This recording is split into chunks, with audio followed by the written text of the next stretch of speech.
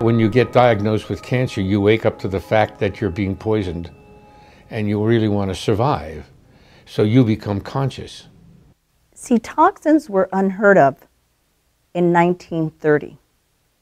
And if you look at the graph of the introduction of toxins, approximately 1930 and really in 1940 to 2010, there's over 83,000 toxins allowed in the environment.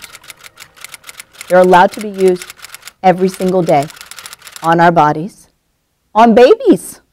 The Google called 10 Americans is enough to depress anybody. In seven minutes, you will learn what is in the average blood of every child born in America today at birth. So they found the names of the neurotoxins, the endocrine disruptors, and the names of all of the neurotoxins and carcinogens that are in everybody at birth. We have to remember that the infant's life did not start when the baby was born, but at least nine months earlier.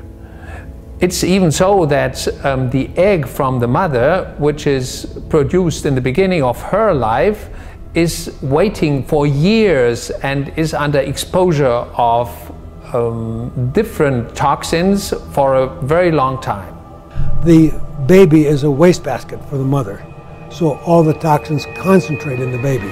So whatever mercury she has in her fillings, whatever she's breathing, whatever she has in her diet, and you cannot escape Okay, we're talking, have we done the testing on one chemical? Have we done the testing of the synergistic potential of 200 chemicals, of 10 chemicals in a human body?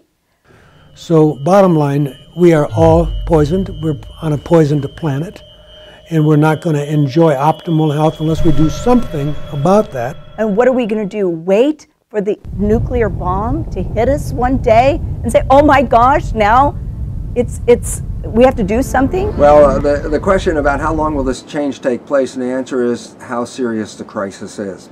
As crises mount, time changes. That when we are really up against the wall and we don't have 40 years for change, then change will have to happen much faster.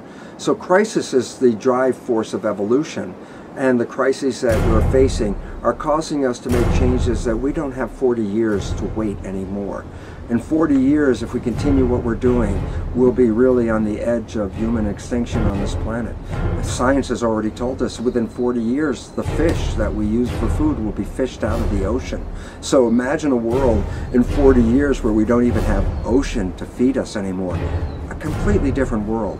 We don't have the time crisis will accelerate change, and we are now in a very rapid acceleration of new vision, new belief, and new models of health.